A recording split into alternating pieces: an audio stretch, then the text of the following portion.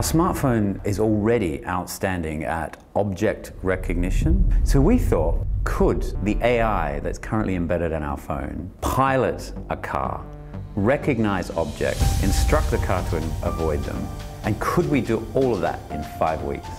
The first thing we had to do with the car was allow it to be robotically controlled. Then on top of that we had to build a communication method that allows the phone to tell the car that is a specific object. So as an example, to understand the difference between a dog and a cat. The next element that's more intelligent is then that information is used by the car to allow it to maneuver accordingly. The fact that this is built into the phone means that that recognition happens in a heartbeat. The challenge we set ourselves with this was to really see what's possible. It's much more than driving a car.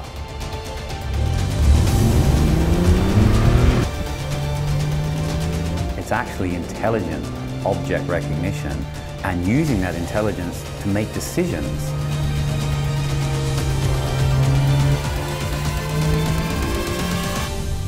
If we can succeed in this challenge, what else is possible?